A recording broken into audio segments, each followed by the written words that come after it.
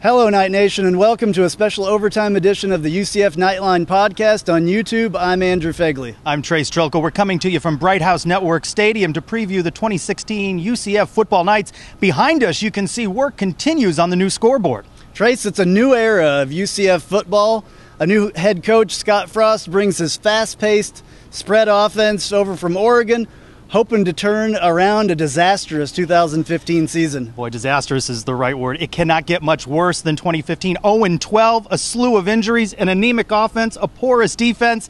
Question, though, is a fresh start was needed, but how quickly can UCF return to prominence? I think it's everybody's opinion that last year was a, a total fluke and that this year will hopefully return UCF to where we expect them to be during media day, head coach Scott Frost said, "You know, he he's still upbeat. He's projecting a good outlook, and key for him was the change in culture." These guys were hungry for a different direction and kind of a new culture. I think that's natural anytime you're coming off a, a tough season. Um, they're really buying into what we're what we're showing them and what we're asking them to do. And the guys are enjoying football. Uh, they're embracing our process. They're embracing one another. Uh, they're learning how to be good teammates to one another. They're learning how to be leaders. And uh, a lot of the things that we try to teach them to establish our culture are, shining through brightly. I don't have much of a statement. We're, uh, you know, a week and a half into training camp. Was really pleased with the first week. We kind of hit a training camp wall a couple days ago, but with as much effort as they've been giving us, that's to be expected. Now it's just seeing how they respond to that adversity. Thought they had a really good, lively practice, energetic practice this morning.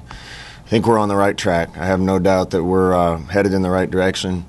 Uh, we just have to con- continue to take steps to get us where we want to go. Uh, everybody's moving in the same direction, pulling in the same direction, understands what we're trying to accomplish, and we just got to get there step by step. At Media Day, we talked to several of the players that are keys to watch on offense. Camp's been great. Um, just the hardest thing I can say is just adjusting to it coming out of high school, but the speed, you know, is very fast. But I'm adjusting, and I love it. Camps, you know, it's just nothing but hard work. As y'all know, UCF fast, but it's just get and go. We get to play and we go. It's gonna be a fun offense to watch this year during the season. Just up tempo, up tempo. It's gonna be way faster than last year. The speed is a lot similar to what I was what I was doing in high school. We ran up tempo in my high school. Um, learning the playbook is definitely a, has been a, a task, but I mean, I feel like I'm a smart guy, and I feel like uh, Coach Verduzco is doing a great job of teaching me and as well as all the other quarterbacks uh, what we need to know. You know, Andrew, UCF's new fast style of play is also being felt on the defensive side of the ball. Well, going through camp, you know, is something that our strength coaches uh, and Coach Duval they helped us out. You know, that's something that we've been working on through the summer. You know, getting conditioned for this type of this type of play that we actually do, and you know, it's going really well. And I feel like if you continue to take it one play at a time, you'll make it through anything. Uh, it, it'll test you. I mean, as a defensive player, it, it tests you. It, it, it tests you pretty good. You know, with the fast tempo that the offense goes at, and even offensively, you know, it's not just the physical test; it's just the, it's the mental test also. Where you know them going that fast, and the offense knowing what they got to do, and the defense having to check to whatever, or calling the coverage or whatever, and then playing. So I mean, it's it's been a test, but we, I think we adapted well. The non conference slate includes a tough road game at the Big House against Michigan and a home game against the Big Ten's Maryland Terrapins. Those are tough games, but first things first, Andrew, UCF has a chance to get a win for the first time in a long time at the home opener against South Carolina State, Saturday, September 3, 7 o'clock, right here at the Bright House. It's good because he has an immense amount of knowledge, and uh, it's good to know you have a coach that's actually played your position, and you can go to him about any and every situation. He's probably been through it himself, not even coached it, but actually been through it, and that's an added benefit for us.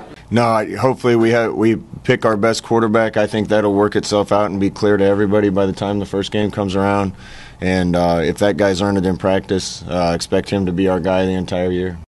Justin Holman's done a really good job. Nick Patti is coming along. He's figuring it out. All the other guys have shown flashes at times of being a guy and, and making decisions and making throws, but it's still a work in progress. You know, that's something that I try to think about, but it's something I, I will never lose. You know, uh, going a season like that is, is, something that you never want to experience in your life, and that's something that we'll continue to think about as we practice. And every time we have a, a slower practice, you got to continue to remind yourself of what happened last year, and that's something that we don't want to go back to. Thanks for joining us on the special overtime edition of the Knightline Podcast on YouTube. And be sure to check out our website, www.ucfknightlinepodcast.com. Like us on Twitter at UCF underscore Knightline and follow us on Facebook. And of course, Andrew, all new editions of the Knightline podcast go up every Sunday night. You can find us on all sorts of platforms from SoundCloud to iTunes, so many more. I'm Trace Trylko. I'm Andrew Phegley. Go Knights. Charge on.